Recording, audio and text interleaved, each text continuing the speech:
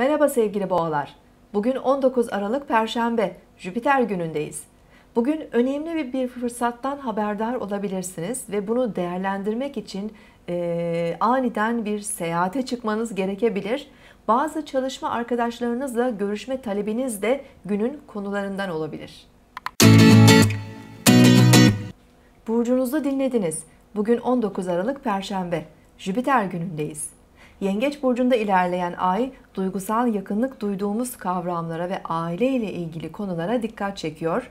Bugün gökyüzü düne göre oldukça rahat görünüyor. Dün bizi zorlayan gergin enerjilerle biraz ruhsal dengemiz sarsılmış ve ilişkilerimizde zorlanmış olabiliriz.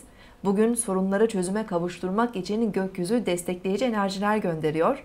Sabah erken saatlerde Ay Jüpiter kavuşumu iyimser ve pozitif enerjisiyle moralimizi yükseltebilir ailemiz, sevdiklerimiz, manevi ve ruhsal kavramlar bugün biraz daha öne çıkabilir günlük hayatımızda. Öğle saatlerinde Ay Satürn üçgen açısı kendimizi daha güvenli hissetmemize imkan verebilir ve çevremizdeki otorite kavramları veya aile büyüklerinden de çeşitli destekler bulabiliriz.